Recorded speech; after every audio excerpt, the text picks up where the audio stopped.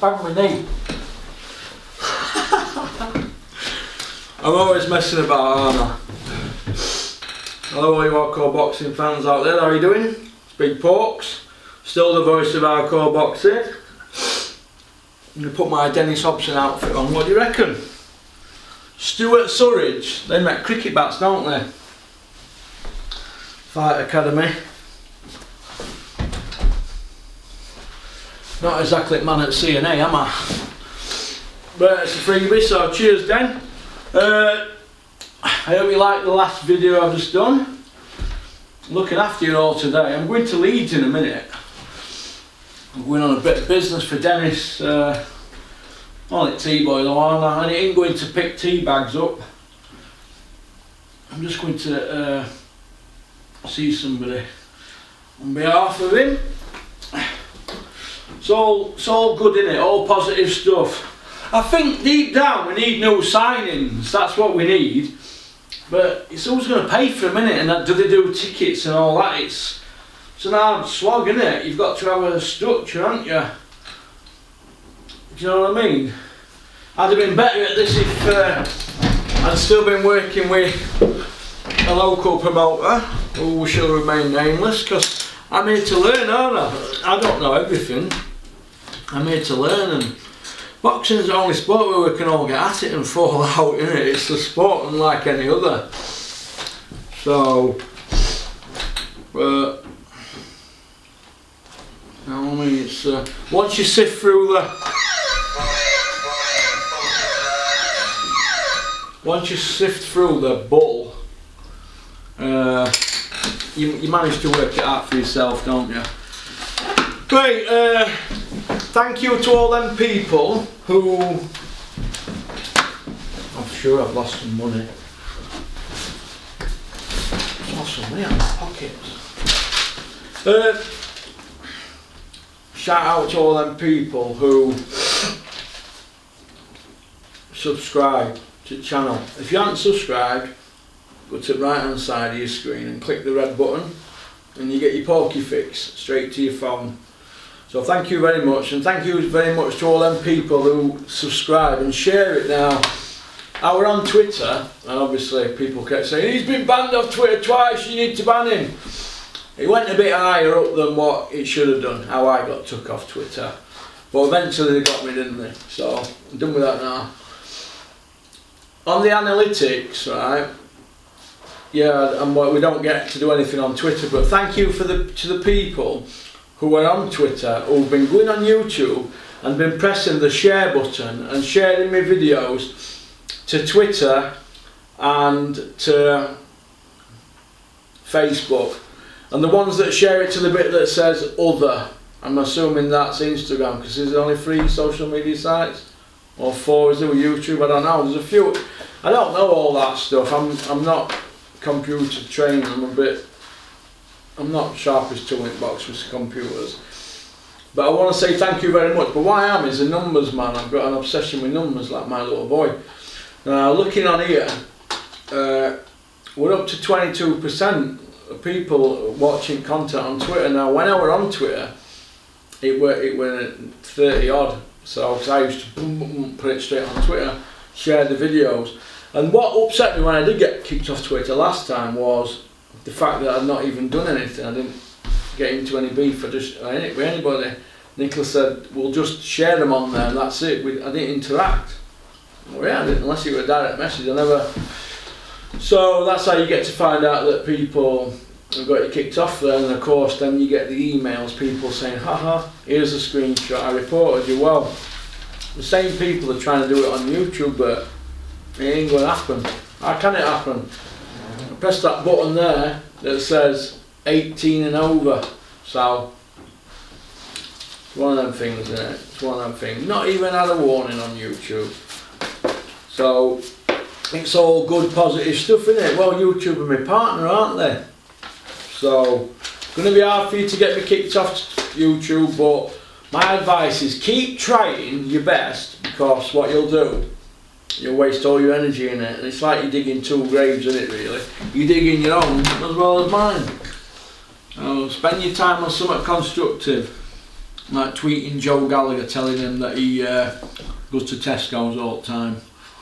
Right, let's have a look here. Oh, really glasses. You know these are like metal and sharp as out. Same glasses as Jurgen Klopp. Oakley. Except Jurgen's around, aren't they? Right. Billy Joe Saunders. Why can't DAZN get these men in the ring?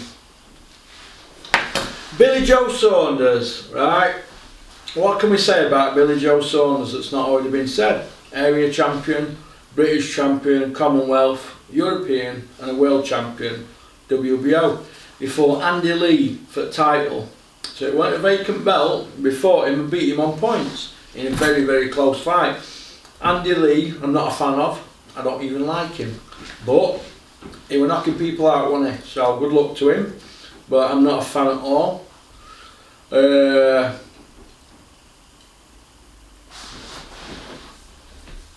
how can't explain it? Andy Lee's a career like middle though, isn't he?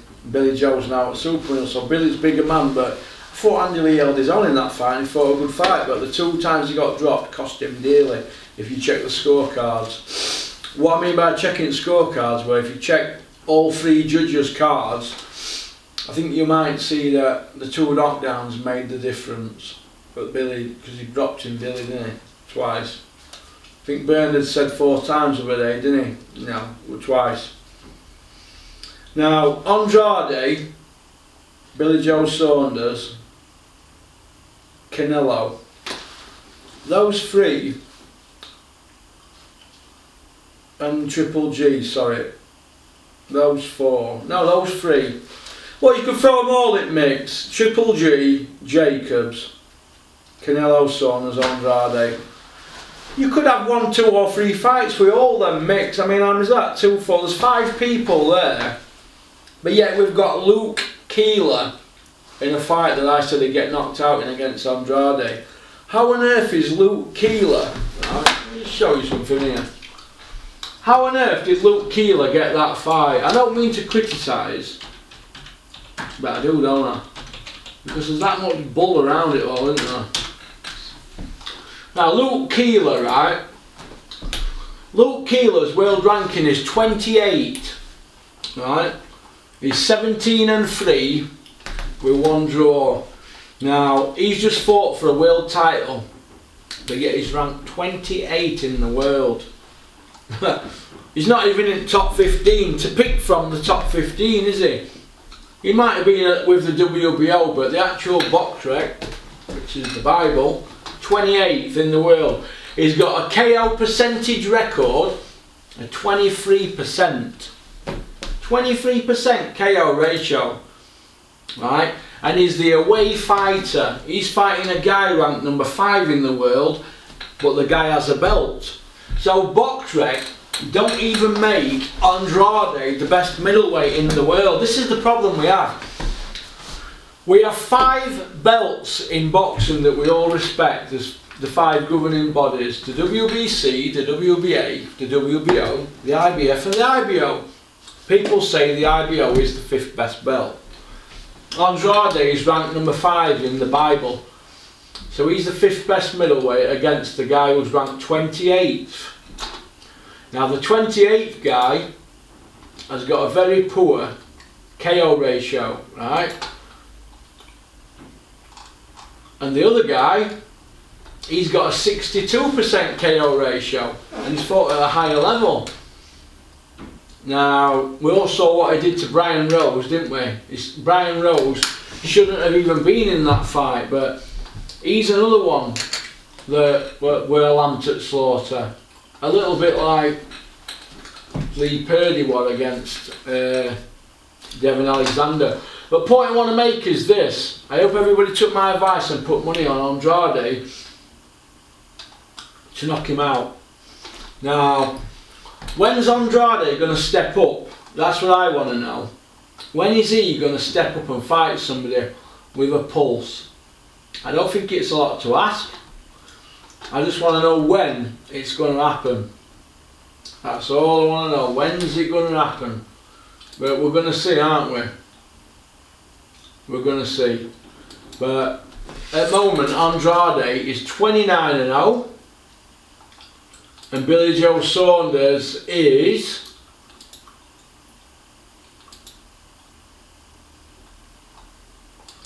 Billy Joe Saunders, I think he's 29 and 0 as well. So Billy Joe, 29 and 0, and he's a southpaw, right?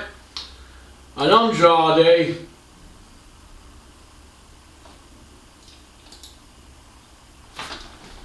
Andrade is he's 29 and 0 and he and he's uh, a southpaw as well now. Billy Joe Saunders if he fights Andrade he'll lose his advantage won't he? Now a southpaw has an advantage against an orthodox. I'm just breaking it down to you. That's because an orthodox is right-handed and a southpaw's left. Now for, for those for those new viewers I'm just going to tell you something here but it's a little bit boring but Right, for example, you go into BoxRec here, look, there you go, this is what we all look at. And then you go into world rankings, European, Commonwealth, British, blah blah blah, whatever country, and you go male, female. Right, we're looking at mid we're looking at middleweights at the moment, aren't we? So in the world at the moment, there is 1,556 middleweights if you're a male. If you're a female, there's 27. so there's 27 middleweights in the world at female. 1,566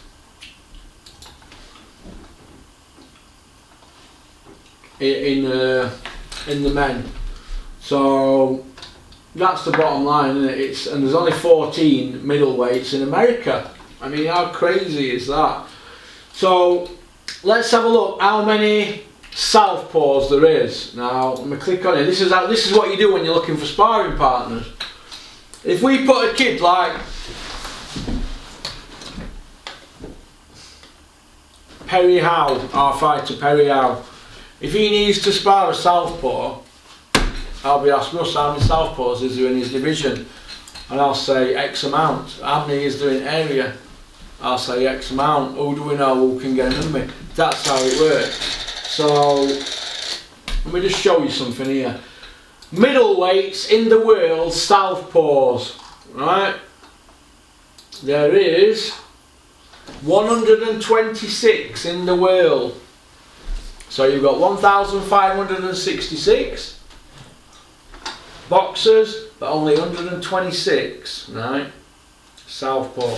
So Billy Joe Saunders, the majority of people he's going to fight with them percentages are going to be orthodox fighters, aren't they? Right? So he's not going to be going up against that many southpaws. Andrade is a southpaw. Billy's saying he wants to fight him and all this. Now, this has been going on and on and on. They signed one fight, didn't they, to fight, and then Billy pulled out, or something happened. Oh, he got he failed a, a drug test, didn't he? Uh, uh, he failed a drug test, and they said it was nasal spray. Nasal spray. Point being, that fight can still happen. Is it a good fight? Yeah, you bet it's a good fight but it just prolongs it, doesn't it, for Canelo? If Billy loses against Andrade, there'll be a rematch clause, and if he wins against Andrade, if he loses, sorry, against Andrade, it doesn't matter, he keeps his belt. But if he wins against Andrade, if he wins against Andrade, he can still make the Canelo fight but there'll be a rematch clause because it's all about prolonging it and getting mileage out of it. Eddie Hearn's got Andrade here, WBO world middleweight champion, and in his left hand he's got Billy Joe Saunders, WBO super middleweight champion. There's eight pound difference. That eight pound for Billy to come down right, is going to be hard. That's going to be very, very hard, I think, for the simple reason that Billy Joe Saunders Uh, he's not fought for ages, has he, at that weight? I'll tell you last time Billy Joe Saunders fought as a middleweight. Uh, sorry, as a super middleweight. Because don't forget, we're talking about £8 now. £8 a lot. Billy Joe Saunders, the last time he fought at middleweight was three years ago. No. Yeah, 2017. 2017, Billy Joe Saunders last fought. David Lemieux, 2017, 16th for December. So Billy Joe Saunders has not made that weight. If he fights this summer against somebody at middleweight, it'll be two and a half year. Now, so that's why I think it could be smoke and mirrors.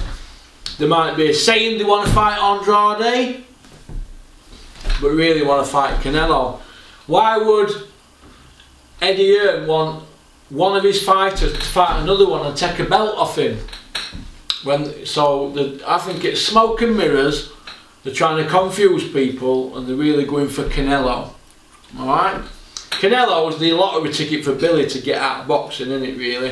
And if it's a close fight, he might get another bite at cherry. But then again, you've got Oscar De La Hoya in the background, haven't you? And look what he's doing, Oscar. He's going to do everything he can to cheese Eddie Hearn off. That's what he's going to do. But it's exciting times ahead, as Mr. Bean says. This is why we love the sport so much, Johnny. Rough, tough, rugged. Creepy Bean. Bean! Everybody loves it when I do my Bean! But somebody says to me, you're on Boxing Asylum, Ross. Uh, Steve Wellings keeps taking extracts out of my sayings and bleeping them into the show.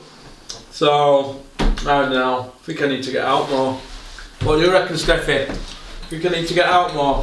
We need to get Terry Chappendama back on the show, don't we? Or I think the Stig might be ready for a comeback. Do you know what I mean? Or the, the other one. What's it called? What's the other one?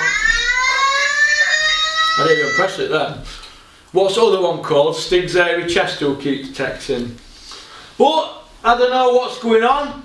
But who really cares? I mean, Billy Joe Saunders doesn't sell a ticket in England. Nobody wants to watch him in England, right? But he's a masterful boxer. We can't get away from that fact that he can fight. So can Tyson Fury, they can both fight. But they seem to have styles that just want to mess you about, a bit like with politics behind the scenes, isn't it? They're just mess you about, don't they? And do your head in. I, I just think that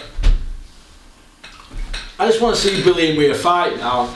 He's got David Lemieux on his record, a former champion. Andy Lee, he took belt off him, well done. And Eubank, he beat him before Eubank won a IBO. So really, I think Billy's got to step it up. I mean, who's Tyson got on his record? Between pair of them, they've got four or five world champions on the records, and you could pick holes in every single one of them, couldn't you, really? Vladimir, we could say, we're pushing 40 year old, he'd come to end of his time. 69th fight. Steve Cunningham were fighting years later after he won a cruiserweight, but he was fighting at heavyweight, and he actually dropped Tyson. They're Tyson's two wins over world champions. Then you've got Billy Joe with Andy, Andy Lee, a light middle. They were fighting at middle, but he's a light, he were a light middle most of his career.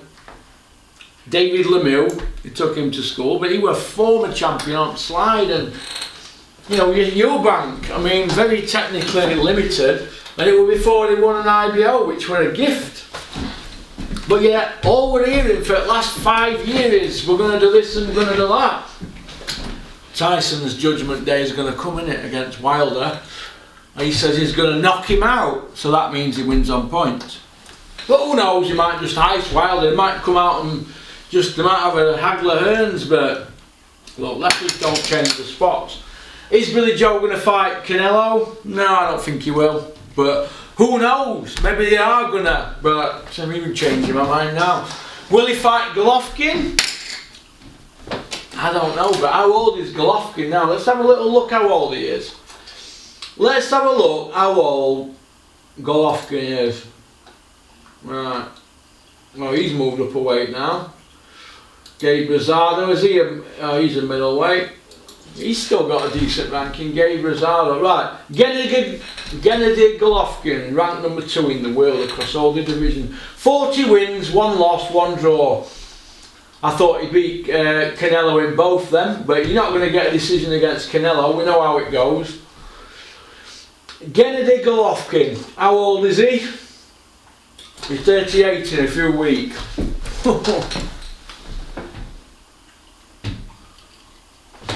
He's 38 in 8 weeks. 38 years of age. So Canelo, sorry, Triple G is 39 years old next year. 39 next year.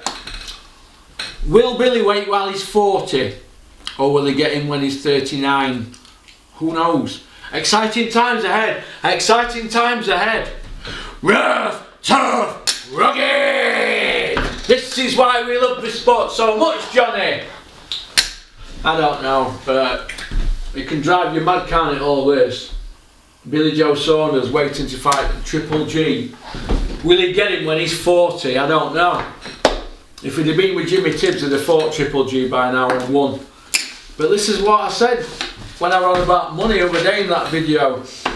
There's a lot of possibilities. You've got people in these people's back ear holes non-stop. What these people are doing, they're trying to work things out for themselves. Terry Chapandama once said something which was really good on his podcast. He said, it all depends how many people are eating at the table. For example, when Andy Ruiz knocked Joshua out, it was like a morgue in the dressing room. Do you know why? Well, it's simple, isn't it? Joshua's there on 30 million, are 31 million or something? So McCracken's on 3.1 million each trainer, he? So he, he's thinking, God, if Joshua retires here, that's me done, isn't it? I've got plans. And down the line, everybody's getting, a, everybody's feeding, aren't they? That's it's like a lion going out and grabbing antelope, taking it back to den to eat it, and everybody having a piece of it. And if that lion can't go out and get that, what's going to happen? All cubs are going to starve, aren't they? Or they're going to go to another pride of lions and they're going to, well, feed off them, but I call it pouncing.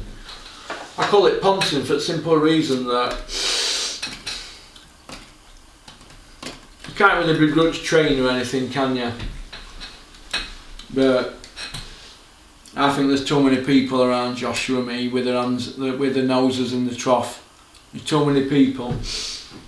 That's what I think. I think that I hear I hear stories all, all day long. Some I'm not going to repeat, but how many people are, are, are eating at the dinner table?